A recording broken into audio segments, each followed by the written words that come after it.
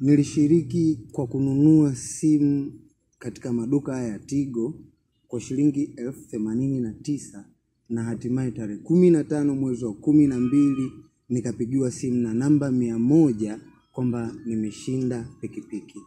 Nashukuru Tigo, mmeniwezesha maisha, mmenijiftisha na mmesongesha maisha yangu. Asanteni Tigo.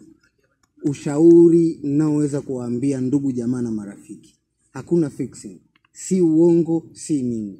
Kama una bahati utabahatika. Leo tuna furaha kumkabidhi mshindi wetu wa wiki aliyejishindia pikipiki katika promotion ambazo tunazifanya kila mwisho wa mwaka, na promotion hii inaenda kwa jina la wagiftishe wa- uh, gift juu ya gifti, na tunafurahi leo kumkabidhi mshindi wetu ambaye amepatikana maeneo ya Liamungo kati uh, pikipiki yake ambayo ameipata kwa kununua simu ambayo alinunua simu na akapitishwa kwenye draw, na tumemkabidhi leo pikipiki aina ya bajaji.